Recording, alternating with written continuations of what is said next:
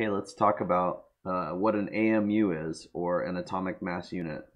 Um, typically in chemistry, when we're when we're dealing with things in the lab, we're going to work with quantities of chemicals using using uh, the unit mole, and uh, we'll be able to measure things out in grams, and um, that's that's fairly practical. But when we talk about single atoms, because they're so small, and we're only talking one of them, um, chemists have devised a unit called an atomic mass unit.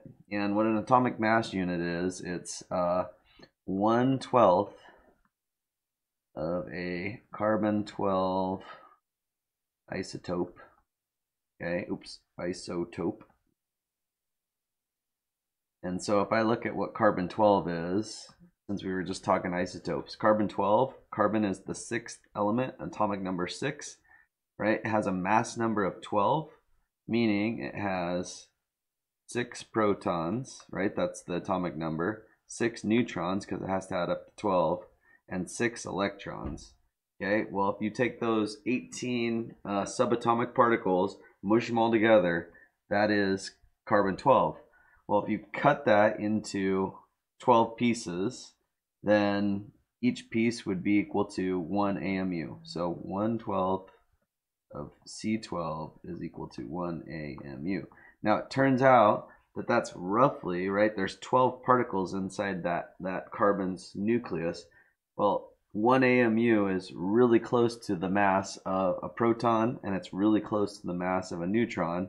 You guys look up in this table, protons have a mass, okay, if we're being nitpicky, of 1.007 AMUs and neutrons are 1.009.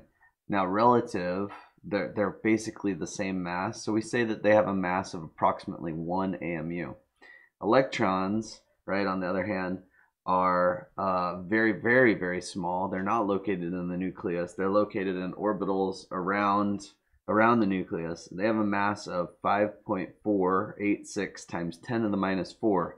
So that would be 0.0005486 atomic mass units, it's roughly uh, 1 1800th of a proton or neutron.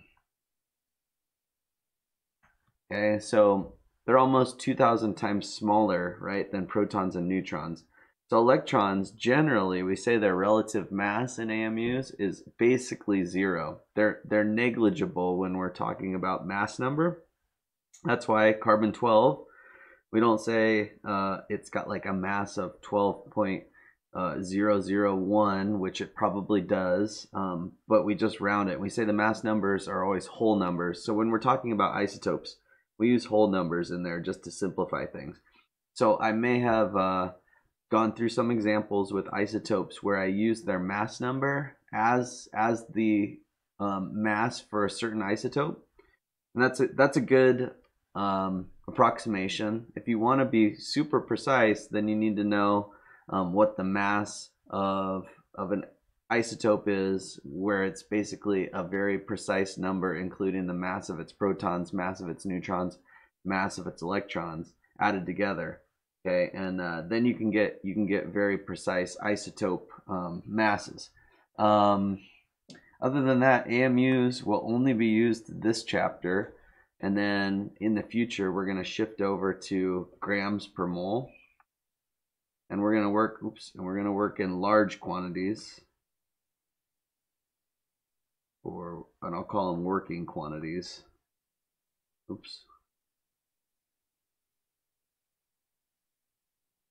For now, we deal with AMUs, which is atom quantities like single atom quantities. Okay, so if you're just talking about specific isotopes, specific atoms of an element, you work in AMUs.